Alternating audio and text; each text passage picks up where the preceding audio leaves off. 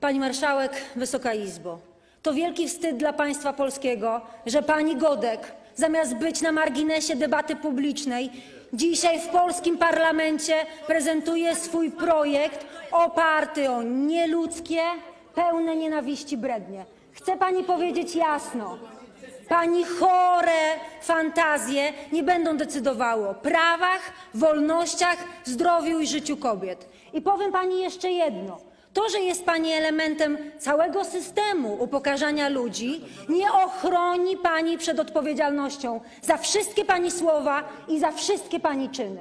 Tak to jest, proszę państwa, system. Wyrok pseudotrybunału, po którym fanatycy wywiatując podrzucają panią Godek do góry. Wyrazy poparcia płynące z, płynące z kościoła. Politycy, którzy załatwiają posady pani Godek.